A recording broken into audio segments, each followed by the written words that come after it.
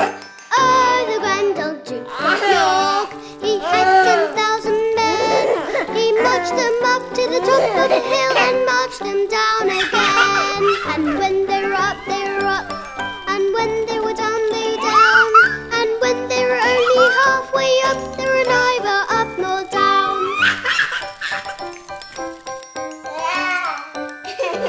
Oh, the grand old Duke